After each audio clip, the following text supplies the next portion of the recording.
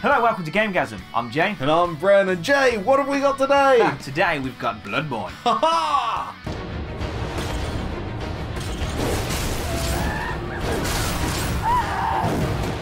Yes, it's Bloodborne. Released earlier this year and by far the best PlayStation 4 exclusive there is. Developed by From Software, all the Souls fans out there will be familiar with the type of game on offer here. For those of you who may not know, Bloodborne, much like the Souls series, is an action RPG that throws you into a dark and gothic world with practically nothing, pitting you against some of the hardest enemies ever in gaming. Seriously, even the weakest of enemies has the potential to easily kill you if you're not careful. You create your own character and awaken the town of Yharnam during an event called The Hunt. You are known only as the Hunter and must seek out something known as the Pale Blood. And that's pretty much it really. From here you are set loose to carve your own path through this punishing world. It can become rather frustrating dying over and over, but when you eventually accept that dying is part of the learning curve of the game, it becomes a little more bearable. And it gives you the biggest sense of achievement when you finally nail a certain section you've been stuck on, or kill the boss that's been pounding you into the dirt for days. One of my favourite things about Bloodborne though was the Nightmare Edition that we managed to get our hands on, it came with a quill pen and an inkwell, amongst other cool things. We did an unboxing of it, so be sure to check it out. And that was Bloodborne, possibly the greatest PS4 exclusive game. Uh, definitely, by, I think, greatest game on the PS4 this year. Ooh, that's some big words right there. Yep, it's my game of the year. Wow.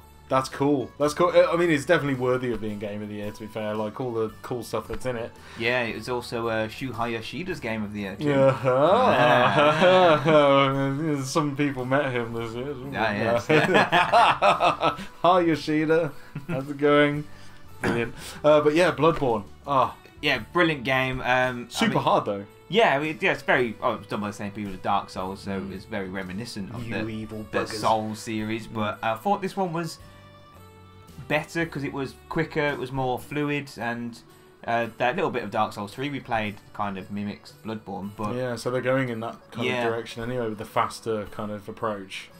But the world you was in was brilliant. It was Mm. that right level of mysterious because Yeah, and they've they've got that way of making you feel like I don't know you're connected to the world, but also there's this disconnection. Yeah. Like uh, when you're roaming around and you can hear people talking behind like the windows and the closed doors, Yeah. and you can see light, but you you're just you're just too far away and you can't get at it. It leaves you that uncomfortable air of like mystery. Yeah, it? yeah, you're you're very much alone, and the game doesn't really explain anything, but you kind of you piece it together as you go through, and that's what I like. It was, yeah, a really good game, really Mm. good game, and the the DLC for that came out not long ago. Oh yeah, So, you played um, it yet? No, I haven't yet. No, so I Ah. am looking forward to going, that? yeah, diving back into that world and playing a bit more. Nice, yes, and uh, yeah, if you out there have played it, don't forget to uh, leave us a comment. Let us know uh, what you think about Bloodborne because it's Jay's game of the year. Is it your game of the year? Who knows? Let us know down in the comments below. Hope you enjoyed the video. If you did, don't forget to leave us a like and also subscribe if you haven't already. I've been Bren, I've been Jay. and we've been Gamegasm. Gamegasm.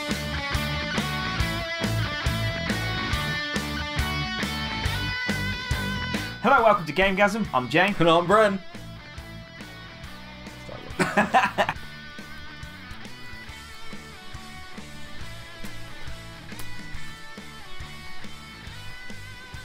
use my nose anymore.